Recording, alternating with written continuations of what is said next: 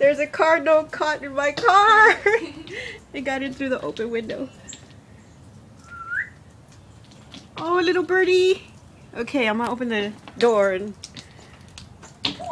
where did where It's really the back. where is it? Oh my goodness. Where'd he go? running out of breath. Where is Got it? Stuck in the front. Oh, if you get too close to it, it, it scares it.